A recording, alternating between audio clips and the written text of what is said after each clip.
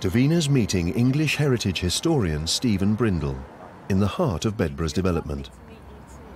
It's really lovely. It is lovely, isn't, isn't it? It's so beautiful. It is. Well, he was a really good builder who really knew what he was doing. He's an ancestor to be proud of. He's the sort of man who'd have got oh. up at dawn, six days a week, worked 14, 16-hour days.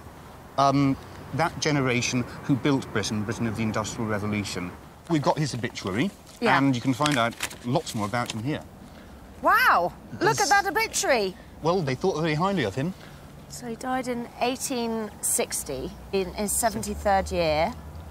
Alderman and magistrate. Yeah. So he was a magistrate. Uh, will he be mayor? I can't, he can't have been mayor. He was.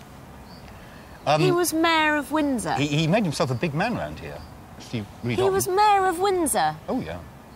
Although the symptoms of declining health had become painfully apparent in his countenance for some time past, Mr Bedborough continued to attend to his magistrate's business. He was a legend, wasn't he?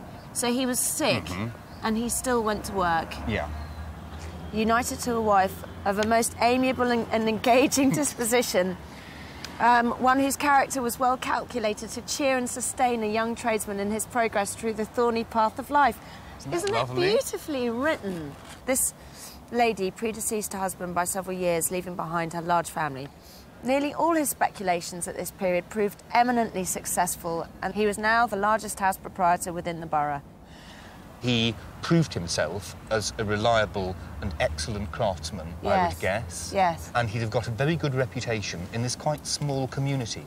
And as he worked his way up, he'd have made connections in the town's professional classes, and those connections then would really have helped him as he as he built his his business. Fantastic. Absolutely. I was very worried that he'd been underhand and devious. And uh, no, I'm so pleased that he was. He sounds. He sounds as lovely as I dreamt he would be. Yes, I'm sure he was. I've seen something else very exciting. Mr. Bedborough became the purchaser of 20 acres of land in Upton. He built Upton Park.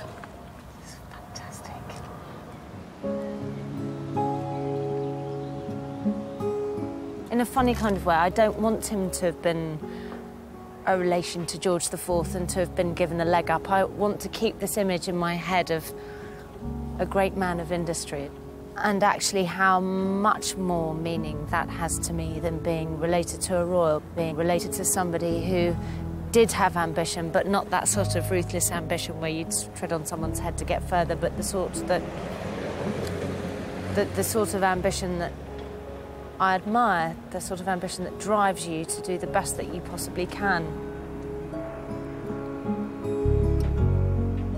It'd be lovely to see if there were any records that could actually tell us a bit more about what he was like. I mean, that's what I'm sort of interested in, the personal stories behind the man. Oh, no. Um, it says here dreadful suicide at Upton Park. George Bedborough, JT's son, shot himself through the heart. And they found him in a, in a pond. Unbelievably sad. Just trying to work out times because 1865, I think, was, was he alive still? He wasn't, was he? JT died. But not, not long before, was it? Because he died in 1860. So it's about five years after his father's death.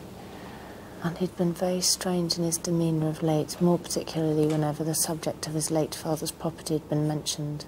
He says, they've done me out of the land and the houses in Upton Park. Well, this isn't at all what I was expecting to find. John Bedborough. I reside at Windsor. The deceased is my brother. He was in his 52nd year. He had the management of the Upton Park estate. He had said to me these last four years past that he was afraid he should lose his senses, so he clearly was kind of worried about his mental health. And he was really disappointed at the result of his father's will, and I think that's kind of the thing that sent him over the edge.